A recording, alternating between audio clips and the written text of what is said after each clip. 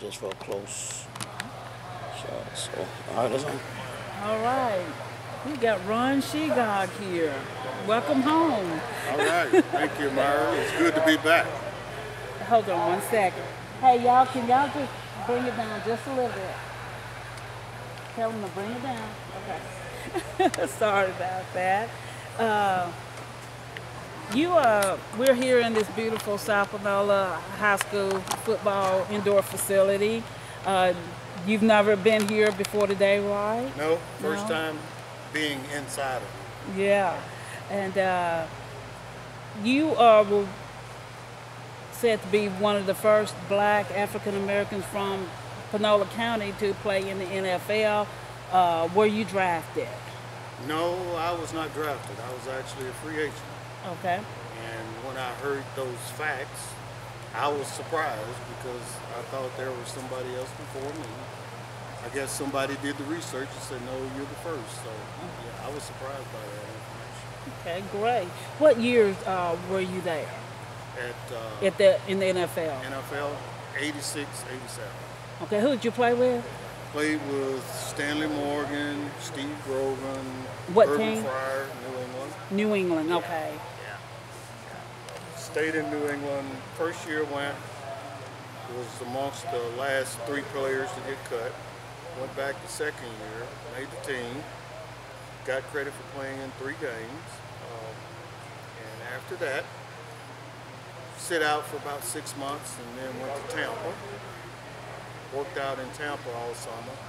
Didn't make the team there. Mm-hmm. So after that, I went to Winnipeg, Canada. Played. You played in the CFL. Okay. Okay. How long did you play there? A year. A year. Okay. All right. Uh, go back a little bit to high school. You played at South Panola. Uh, 80 to 82. Okay. 80 was my sophomore year, and 82 was my senior. year. Okay. And uh, what position did you play? Here in high school, I played receiver and defensive back. Okay. You know, back then in high school, you had such a small number, so players had to sometimes play both ways. Mm-hmm. And I found myself a lot of time playing both ways. Okay. Uh, who, are your coaches during that time? When I came in, I had Coach Arnold and Coach McMahon. Coach Daryl Arnold. Yeah. Coach Ron McMahon. Yeah. Coach Hopper. Everybody knows Coach Coach, Hopper. Hopper. Yeah. Okay. Uh, you know, uh, I know it. You probably look at NFL on TV today. So, what was your experience in the NFL like? Uh, was it as surreal as it looks sometimes? Well, uh, at the time, Myra, well, let me back up. I don't watch a lot of football on TV, especially at the professional level, because most players you talk to, and I'm probably the same way, once a player, hardly ever a fan fan. I like college football a lot more because those guys are out there, they're competing. You know, they're, they're trying to get to the next level. And as far as the experience, it's uh, it's something that's unreal. Uh, you know, it's like your first game.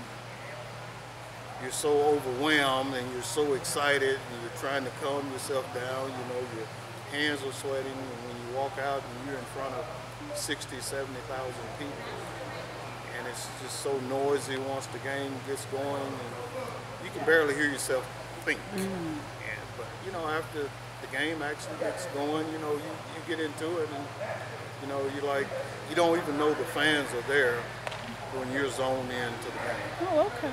A lot of that people ask, did you see or did you hear? No, I didn't hear that because you, you're zoned into the game. Right. Okay. So after South Panola, you went to school. I went two years at Northwest. Okay. Uh, tenure at Northwest. First year there, we won the junior college national championship. So after two years of Northwest, I left there and I finished up at Austin Peay, which is in Clarksville, Tennessee. Okay. All right. Um, Now I know we we going back a long time, but during your years at South Panola, like, what were your goals and dreams? Did they were the goals sports wise or not? Not really, uh, Mara. I never could imagine actually going to college, playing football. You know, I was just kind of focused on just getting an education here in high school, getting out of here, and probably finding a job. Okay. But one thing that drove that when you talk about going to college is that no matter what I've always done in life, I've always wanted to try to be the best at it. Like my mom, she, she, she has a lot of uh, newspaper clippings. You know, this, this stuff I never knew, and I go back and I read those clippings and, and the articles, and I'm like, wow, who is this guy? but I, uh, you know, I never, I didn't think it was possible because uh, you remember back in the 80s, football at the professional level, we only saw it on TV. And I always imagine that as something being far off. But uh, I guess the way that I got there was one day at a time, being the best person I could be, no matter what it was, whether I was here at South Panola, whether I was in junior college, or whether I was at four-year Austin Peay. I always tried to be the best athlete, the best student, the best whatever. Okay. Um, remind us of uh, some of your closest South Panola teammates uh, back then. You probably know Yeah, one I of them know, yeah. well. well, we call him Doc, but Uh-huh. his name is Tommy Brown. Yeah. You know, he and I was probably thick as thieves, and you know there was Robert Groves. Uh, here, in, when it came to the uh, athletics, you know we had uh, Todd Self, we had Snell Grove, Al Snell Grove, just a host of guys. But you know, Doc would probably be the closest friend, and Rodney Baker, you know, those guys. All right. Um, tell us, uh, you you have a funny memory you can share with us? But Here at South. yeah, well, yeah, here at. Uh, this didn't. This building didn't exist, but Right. in the in the foot, you know, in the football world, Okay. yeah. What what is I'll, one I'll fun? give you one uh, here at South Panola. Okay. You know, games are Friday, Uh-huh. pep rallies are Friday, and uh, you know after class we would come down to the field house because the game usually starts at seven seven thirty, and while we were in the field house, the coaches would always come through ranting raving about get your mind right, get your mind right, get your mind on the game, guys. Always, and you know, later on is when I thought about it, and I always thought that was funny. What was what was he talking about? Get your mind right. Uh, because the thing about me, I've always been this way even since high school. If you're an athlete, and no matter what sport you're participating in, if you haven't played the game through your mind the night before, or days before, you're not ready for the game. So when coach was walking through hollering, get your mind right, you know, my mind has been right since the last game ended. You know, mm-hmm. I'm getting mentally ready for the next game. And that's kind of always how I prepare myself for anything because, you know, through this thing called life process, it's one thing I've, I've come to realize. Success is where opportunity meets preparation. And I've kind of always prided myself in that. All right. Uh, I, this this is not really one of the. Well, it, it is. Tell us uh, about your family. You know, uh, when you were here, a lot of people at the time we were here, they, weren't born, so they don't really know your story. Who are your parents?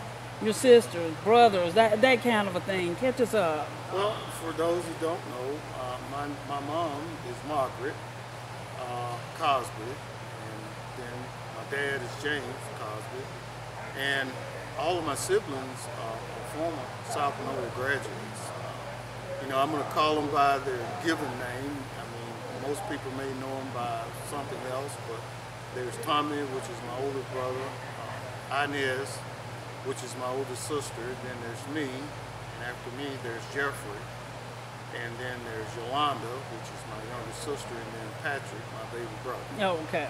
Okay. So All right. they all still live here Yeah. in this area, except for, for Jeff, he lives in town. Oh, okay. Uh, married, children? I am married. Okay. Been married for 22 years. I have three kids. Age range from 19 to 38. Okay. My 19 year old is, is still living with me. He's getting ready to go to college. Uh, my wife, Lynn, been with her 22 years. And I, you know, I appreciate her putting up with me because I know sometimes I can be a headache. Uh, we live there in Memphis. Actually, I've been in Memphis about 35 years. Okay. All right. Well, thanks for catching us up on every everybody. Uh, do you have any members of Danny Ray Cole? He was a teammate at the time with you. You remember Danny Ray? Danny Ray Cole. I don't know where he got this nickname, but everybody used to call him Murder. Uh, you know, he was one of those guys who was probably early on one of the hardest working individuals every day, Danny Ray spent most of his time that I seen, saw him and we were in the field house or whether we was on the field, he spent all his time getting better, trying to get better. You know, he would catch us sometimes just doing nothing and ask us, hey, come on, let's go to the weight room. He spent a lot of time getting better. Every day he worked on something to get better. And that's one thing I have always admired about him as an individual and as an athlete. Right. Um, well, you said you live in Memphis. Where do you Where do you work? We were kind of talking about this I work for a company campus. called Cargill. Mm-hmm. Been there for 10 years. Uh, prior to that, I worked for a chemical company for 26 years. Okay. All right. But going back, Cargill was an agricultural business. Uh, I'm actually operation manager uh, Cotton Division, Okay. and you know it's uh, I enjoy what I what I'm doing. I uh, I- love uh, the people. I love the atmosphere uh, because when uh, I was talking to a young lady earlier and we were discussing Cargill, and she said, you know, "I think I know that place." But, you know, Cargill is the number one privately owned company in the United States. Okay. And, uh, you know, I have a lot of opportunity to go places, meet a lot of people. And that's one thing I love about South Panola because when people ask, where did you go to high school? And you say South Panola, they say, oh, that's, said, man, y'all are tough, aren't you? So I want to give a congrats and a hats off to all the guys that came after me and kept up the tradition here and kept the line going. We, we believe it was players like you that kind of really laid the ground groundwork uh, throughout the years uh, of- of hard work and dedication to this program because uh, we were talking. I was talking to Pete Robertson. You know, he was talking about when his I think his first or second year after desegregation, they went. They were like the first team that went ten and zero here. And I remember in '77 uh, with uh, Donnell Townsend, them they went. You know, eleven and zero, and uh, then I think our senior year maybe I went eight and two or something. Ah, I- I- you probably don't. It's been a long time ago, so Yeah. I had to when I was um, uh, the sports editor. I had to do a lot of research, so sometimes that's why I can still remember some of those numbers. But uh, you had said something earlier. I don't know if that would be your advice to young players uh, who are coming up, dreams of you know of the next level. What would be your advice to them? Uh, you said it was your it was success plus something. I, you know. My definition Yes. of success is where opportunity meets preparation. Okay. You may not, well, you're not going to be good at everything in life, but whatever you choose to do, put your time, your energy into that. And, you know, it's like if you and I was outside and we were just kicking rocks, I'm going to be the best rock kicker and the longest rock kicker that day. Uh, I would say to a, a young person coming up, you know, I'm one that truly believes that everybody is born with a talent, and your talent may not be sports, it may not be football. Actually, when I look back over my life, I wish we'd had golf here at South Panola when I came up. Now that I've gotten into the game, mm-hmm. but you know, I would say to them, you know, no matter what you decide to do, be the best at it. Do your research, do your studies on it, become an understudy of, of that, and be a master of your craft. All right. Anything else you want to add? I did not ask that. No, No? no. I mean, I, I appreciate you guys taking the time out to give me and the rest of the guys the opportunity, and hopefully, you know, this will inspire somebody to want maybe not to be a professional athlete or to be a journalist. All right. Thank you so much. Thank you, Myra. All right.